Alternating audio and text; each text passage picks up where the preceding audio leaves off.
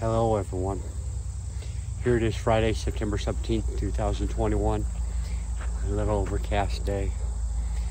I am here at a site that I've been trying to get to for a couple days now. Can you see it behind me? See if I can do this. It's the Flight 93 National Memorial Site. Right over here, as you can see, is a tower. See right there? Right there. It's called the Tower of Voices.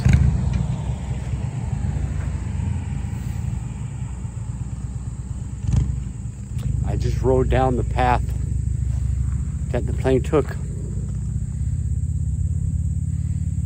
And you can almost hear the screams of those people as that plane was about to hit the ground.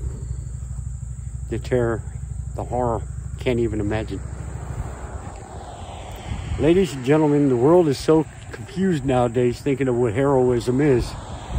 They think a football player taking a knee at our national anthem is heroism. They think a football player that makes millions of dollars coming out and saying, hey, I'm gay. They think that's heroism. No, that shows courage, not heroism. If you see this gray tower, let me see where I'm at, right here,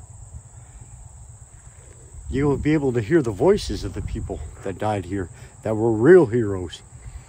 They knew that their plane was hijacked. They knew that their plane was going to be flew or flown into a building.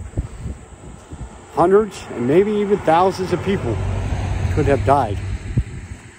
So what they did is they took control of that plane and they deliberately and willingly crashed it, killing themselves. That is heroism. That is pure love for people that you don't even know.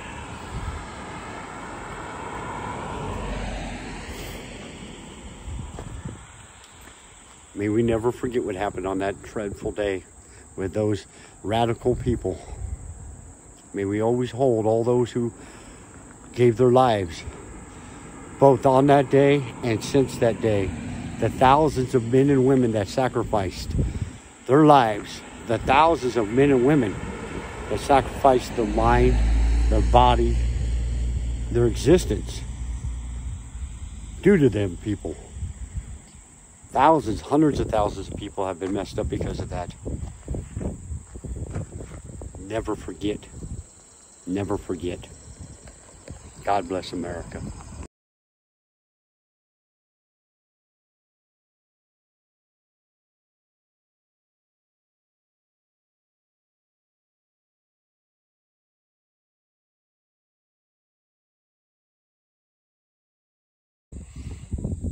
Hello everyone.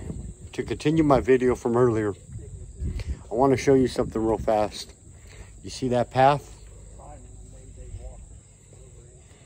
Right out here is where Flight 93 and the heroic men and women on that flight decided to give their life to save thousands of people's lives, whether they know knew you or not.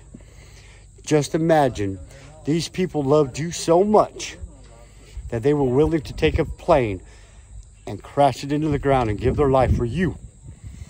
This is the field where they passed away at, where they made the ultimate sacrifice. Yes, it's been 20 years, but in, to the families, it's been as it was yesterday. America, please do not forget what these heroic men and women did on that day to save our country. And for those who have ever served, those who are still serving, like my sons, thank you. And may God bless America.